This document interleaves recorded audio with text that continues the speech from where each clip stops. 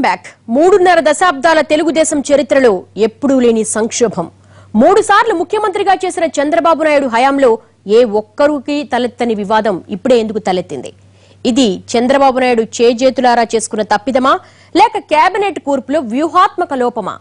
లేక ఏపీ కేబినెట్లో చోటు దక్కించుకునే అసంతృప్తుల అత్యుత్సాహమా?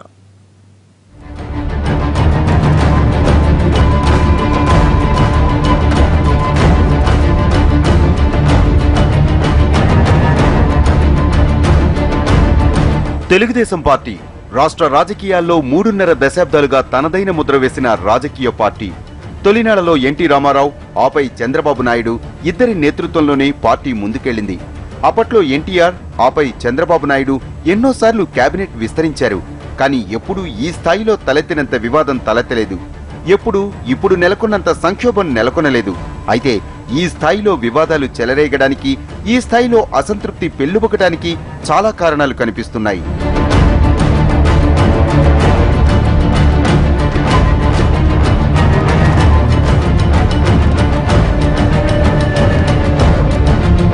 అన్నిటికన్నా ఈ స్థాయిలో అసంతృప్తి పెళ్ళుబొక్కడానికి కారణం వైసీపీ నేతలకు పెద్దపీట వేయటమే అని అనిపిస్తోంది.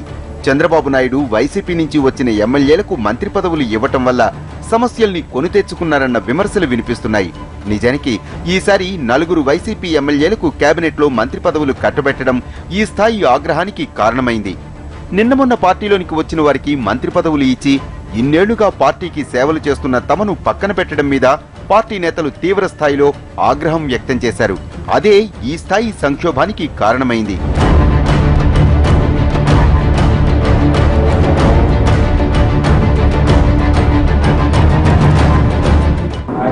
ఇవాళ పార్టీ సిద్ధాంతాలకు భిన్నంగా వెళ్తోంది.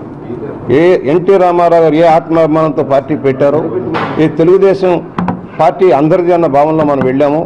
దానికి భిన్నంగా ఆయారాములకి గయారాములకి కేంద్రంగా మారటం చాలా బాధాకరం. ఇవాళ పదవులు అనుభవించిన వాళ్ళు అవకాశాలు అందిపుచ్చుకున్న వాళ్ళు బయటకు వెళ్ళిపోయి ఇతర పార్టీల్లో ఉండి మరలా వచ్చి ఇక్కడ పదవులు అనుభవిస్తూ ఉన్నారు. ఎవరైతే పార్టీ కోసం జెండా మోసి కష్టపడ్డారో అనేక మంది కార్యకర్తలు నాయకులు బలిపశువులుగా మారుతూ ఉన్నారు. ఇది నన్ను ఇబ్బందులకు గురి చేస్తూ ఉంది. ఒకటి నేను ప్రధాన కార్యదర్శిగా అనేక జిల్లాలకు వెళ్తున్నాం. వాళ్ళ మనోభావాలను చూస్తూ ఉన్నాను. ఎవరైతే పార్టీ ఫిరాయింపుదారులు వచ్చారో అక్కడ ఏ విధంగా నాయకులు కార్యకర్తలు ఇబ్బందులు పడుతున్నారో చూస్తూ ఉన్నాం. ఇవాళ ఎవరైతే పార్టీని అనుభవించి బయటకు వెళ్ళారో వాళ్ళు మళ్ళా వచ్చి ఇవాళ అక్కడున్న కార్యకర్తలకు ఇబ్బంది పెట్టే పరిస్థితి వస్తూ ఉంది. ఇది చాలా ఇబ్బందికరం.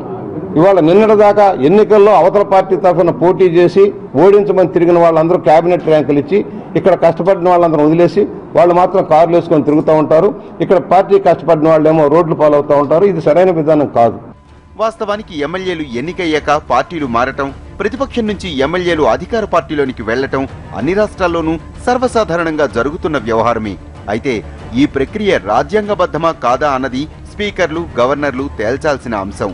ప్రస్తుతానికి వాళ్ళకు మంత్రి పదవులు ఇవ్వటం అన్నది పెద్ద తప్పు అని చెప్పడానికి వీల్లేదు. ఎందుకంటే చాలా రాష్ట్రాల్లోనే కాదు గతంలో కూడా చాలా సందర్భాల్లో ఇలా ప్రతిపక్షం నుంచి అధికార పక్షంలోనికి వచ్చిన ఎమ్మెల్యేలకు ప్రతిఫలంగా కేబినెట్లో చోటు దక్కడం అన్ని చోట్ల జరుగుతూనే ఉంది. అయితే ప్రస్తుతం ఇలా వైసీపీ నుంచి టీడీపీలోనికి వచ్చిన వాళ్ళకు మంత్రి పదవులు ఇవ్వటం కరెక్టా కాదా అన్న చర్చను పక్కన పెడితే అసలు చంద్రబాబు నాయుడుకు ఇలా వైసీపీ నుంచి ఎమ్మెల్యేలను తీసుకురావలసిన అవసరం ఉందా అన్న అభిప్రాయాలు వినిపిస్తున్నాయి. నిజానికి రెండు వేల పద్నాలుగు ఎన్నికల్లో టీడీపీ ఏపీలో సాధించాల్సిన మ్యాజిక్ ఫిగర్ను మించి స్థానాలు దక్కించుకుంది. ఆ ఎన్నికల్లో టీడీపీ నూట ఆరు ఎమ్మెల్యే స్థానాలు కైవసం చేసుకుంది. ఇది అంటే మ్యాజిక్ ఫిగర్ కన్నా దాదాపు ఇరవై మంది ఎక్కువ ఉన్నట్లే లెక్క. ఒకవేళ ఆ ఎన్నికల్లో టీడీపీ మ్యాజిక్ ఫిగర్కు కాస్త అటు ఇటుగా సీట్లు దక్కించుకొని ఉంటే సహజంగా ఆ పార్టీకి రాజకీయ భయాలు ఉండే అవకాశం ఉంది. ఒకవేళ అదే జరిగితే అలాంటి రాజకీయ పరిస్థితుల్లో చంద్రబాబు నాయుడు వైసీపీ నేతలకు తమ పార్టీలోనికి ఆహ్వానించి వచ్చిన వారికి మంత్రి పదవులు ఇస్తానని మాట ఇచ్చినా అది పొలిటికల్గా జస్టిఫై అయ్యి ఉండేది. ఆ ఎన్నికల్లో టీడీపీకి బొటాబొటిగా సీట్లు వచ్చి ఓ పది మంది పార్టీ మారితే ప్రభుత్వమే కూలిపోయే పరిస్థితి ఉందనుకుంటే అలాంటి పరిస్థితుల్లో చంద్రబాబు నాయుడు తన బలాన్ని పెంచుకోవడానికి ఇలాంటి ప్రయత్నాలు చేసినా అదో పద్ధతిగా అనిపించేది. కానీ చంద్రబాబు నాయుడుకు అంత అవసరమూ లేదు అంత అగత్యమూ లేదు. అయినా సరే వరుస పెట్టి వచ్చిన వాళ్ళందరికీ మాట ఇచ్చేశారు. అసలు అవసరమే లేనప్పుడు ఇంతమంది ఎమ్మెల్యేలను ఎందుకు తెచ్చుకున్నారు? ఇంతమంది ఎమ్మెల్యేలకు మంత్రి పదవులు ఇస్తానని ఎలా కమిట్ అయ్యారన్నది మాత్రం చాలామందికి అర్థం కావటం లేదు. సరే తెచ్చిన వాళ్ళను తెచ్చినట్లు ఉంచకుండా పార్టీలో సీనియర్లను కూడా పక్కన పెట్టి ఈ కొత్త వాళ్ళకు అవకాశం ఇవ్వటం కూడా మిగిలిన వాళ్ళలో తీవ్రమైన అసహనానికి కారణమైంది. నిజానికి పార్టీలో ఐదారు సార్లు ఎమ్మెల్యేగా గెలిచి పార్టీకి అన్ని వేళలా అండగా ఉంటూ ప్రతిపక్షంలో ఉన్న పదేళ్ళు అదే స్థాయిలో పార్టీకి సేవలు చేసిన ధూళిపాల నరేంద్ర పయ్యావుల కేశవ్ వంటి వాళ్ళను కూడా పక్కన పెట్టి ఆ నలుగురు వైసీపీ ఎమ్మెల్యేలకు కేబినెట్లో చోటివ్వటం ఇంత ఆగ్రహానికి మూల కారణమైందన్న అభిప్రాయాలున్నాయి.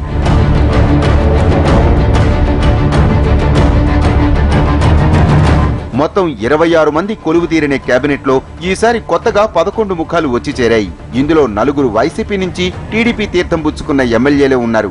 ఆదినారాయణ రెడ్డి ఉమా అఖిలప్రియ సుజయ్ కృష్ణ రంగారావు అమర్నాథ్ రెడ్డి ఈ నలుగురికి మంత్రి పదవులు దక్కడంతో ఆశావహులంతా ఒక్కసారిగా ఆగ్రహానికి గురయ్యారు. కేబినెట్లో తమకు చోటు దక్కుతుందని సుమారు పదిహేను మందికి పైగానే టీడీపీ ఎమ్మెల్యేలు ఆశపడ్డారు. కానీ వారిలో కేవలం ఏడుగురికి మాత్రమే చోటు దక్కింది. దీనికి తోడు వైసీపీ నేతలకు పెద్దపీట వేయటంతో వీళ్ళంతా తీవ్ర నిరాశకు గురయ్యారు. తాము ఇన్నేళ్ళుగా కష్టపడి చేసిన దానికి ఇదే ఫలితం అన్నట్లు ఆగ్రహం వ్యక్తం చేశారు. ముందొచ్చిన చెవుల కన్నా వెనకొచ్చిన కొమ్ములే వాడి ఎక్కువ అన్నట్లు ఏకంగా రాజీనామాలు చేసి పార్టీని వీడిపోవడానికి ప్రయత్నించారు. ఇలా పదవులు దక్కనందుకు పార్టీలో సీనియర్లు తమ ఆగ్రహాన్ని వెళ్ళగెక్కిన వెంటనే అప్పుడే పార్టీలోకి వచ్చిన జూనియర్లు కూడా తమ అసంతృప్త రాగాలు మొదలుపెట్టేశారు. మొదటిసారి ఎమ్మెల్యే అయిన బోండా ఉమా తమకు మంత్రి పదవి దక్కలేదని అక్కసు వెళ్ళగెక్కారంటే కారణం నలుగురు వైసీపీ నేతలకు ఛాన్స్ దక్కడమే. ఇలా సీనియర్ల దగ్గర నుంచి జూనియర్ల వరకు ఈ స్థాయిలో సంక్షోభం రేపారంటే కారణం ఆ నలుగురికి కేబినెట్లో స్థానం దక్కడమే ప్రధానంగా కనిపిస్తోంది. ఇలా చంద్రబాబు నాయుడు కొత్తగా చేరిన వారికి మంత్రి పదవులు ఇచ్చి చేజేతులా సమస్యలు కొని తెచ్చుకున్నారన్న అభిప్రాయాలు వినిపిస్తున్నాయి.